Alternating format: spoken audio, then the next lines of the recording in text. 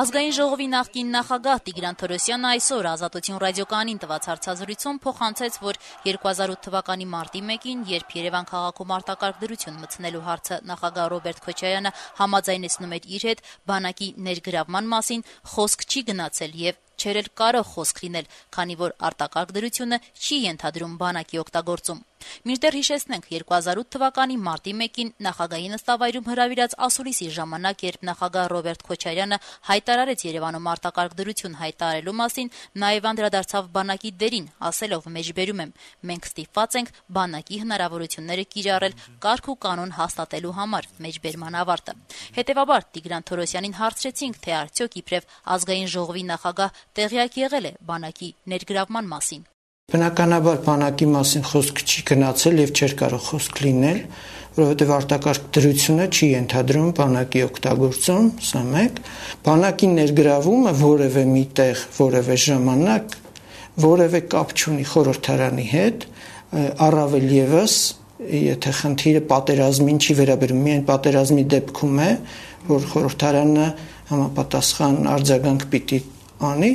Հիշեցնենք, իր վերջին հարցազրույցում Ռոբերտ Քոչարյանը ընդգծեց, որ արտակարգ դրությունը Երևանում մտցվել է ազգային ժողովի նախագահի եւ վարչապետի հետ համաձայնեցնելուց հետո, այնուհետեւ այն հաստատվել է խորհրդարանում։ Ես այսօր էլ ավելի քան համոզված եմ, որ արտակարգ դրությունը մտցվել է անհրաժեշտաբար, որովհետև ցավոք սրտի կարող էին ավելի շատ զոհեր լինել եւ ես համոզված եմ նաեւ, որ արտակարգ դրության մտցնելը հնարավորություն տվեց խուսափել նոր զոհերից։ Իհարկե կան խնդիրներ, որոնց պատասխանները պետք է տրվեն։ Առաջին հերթին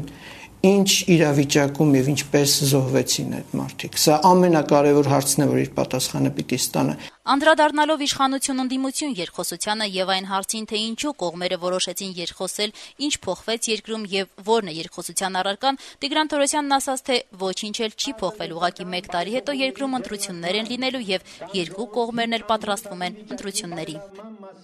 այսօրվա իրավիճակը քաղաքական ասպարեզի երկու կողմերին էլ այս կամ այն չափով բավարարում է եւ թերևս ինչ որ ձևով հրադադար է հայտարարված բայց այս փխրուն եւ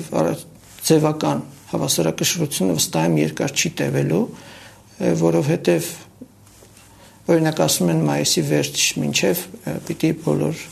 դատապարտվածները ազատ արձակվեն Դրանից հետո թերևս աշնան է ինչ որ իրադարձություններ իրավիճակի թելադրանքով լինելու են եւ կարծում եմ այս հավասարակշռությունը խախտվելու է։ Դե իսկ ինչ վերաբերում է արտահերտ ընտրություններին, ապա Տիգրան Թորոսյանի համոզմամբ կոնկրետ արտահերտ խորհրդանական ընտրություններ հավանական չէ որ տեղի ունենան։ Ազգային ժողովի նախկին նախագահի համոզմամբ հանուն այն բանի, որ հակի պահանջը կատարվի, իշխանությունները արտահերտ ընտրությունների չեն գնա։